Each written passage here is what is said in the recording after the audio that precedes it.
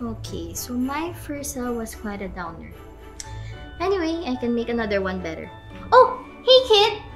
Do you want your own hero and villain collection?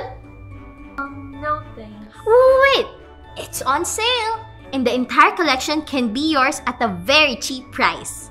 Yeah, I can read that, but Dad already got me a lot of Christmas presents this year, so I'm good. But you can never have too many toys, kid. Sure, I can. That's why I gave some of mine away to our shoebox drive. A shoebox one? Oh, it's our Christmas tradition at church where we donate our pre-loved items to the less fortunate kids. It's really fun.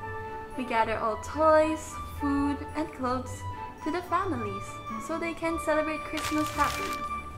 Okay, but where does that fit in with Christmas? I mean, aren't you supposed to look forward to Christmas because of the gifts and the toys and the food?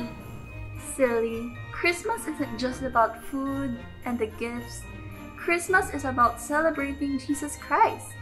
The food and the gifts are just secondary. Didn't anyone tell you that? So you don't want the toys? I already have everything I need.